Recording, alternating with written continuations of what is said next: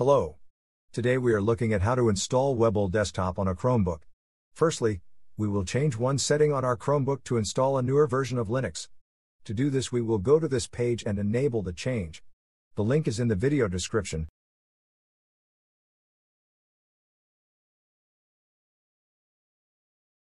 Choose Bullseye. Now we will reboot our Chromebook.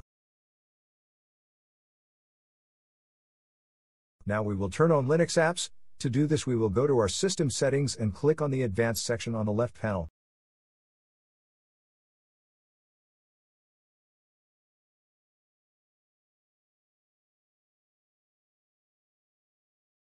Now we click on the developer section. Now we will turn on the Linux apps.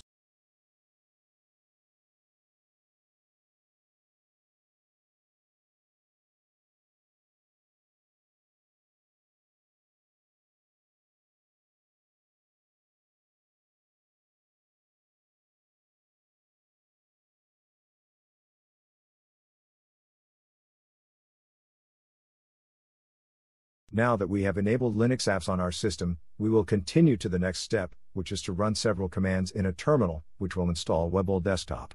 All the commands are in the video description.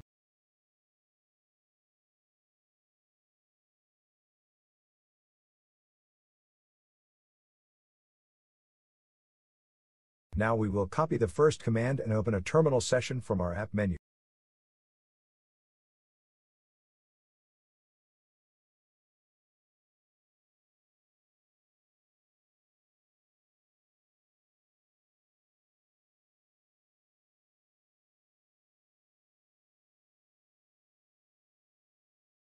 Next, we will paste the command into our terminal, either with a two-finger click on your terminal or click Ctrl, Shift, and V together.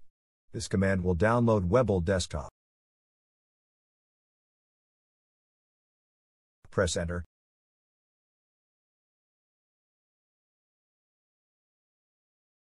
Now we will install Webull Desktop.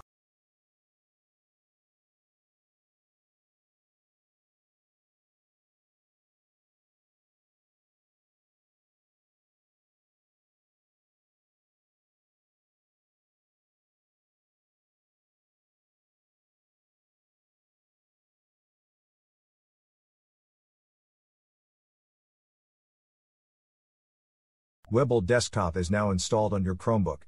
Let's launch it.